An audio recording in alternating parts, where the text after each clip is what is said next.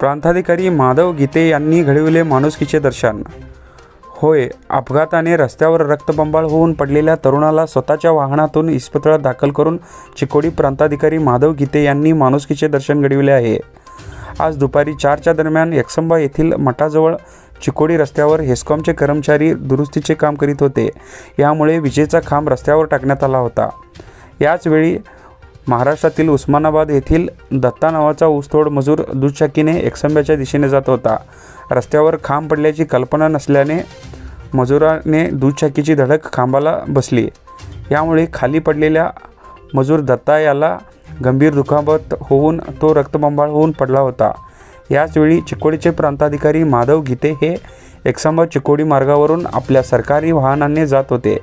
त्यांना ही बाब लक्षात आल्याने त्यांनी लागलीच वाहन थांबवून वाहनचालक विशाल देवळे यांच्या मदतीने त्या जखमीला आपल्या गाडीत घातले.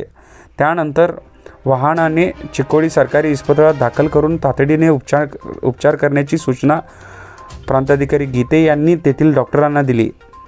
प्राथमिक उपचार करून अधिक उपचारासाठी बेळगाव येथे हलविण्यात आले आहे. सध्या प्रकृती स्थिर असल्याचे डॉक्टर अभिजित कोकरे यांनी सांगितले.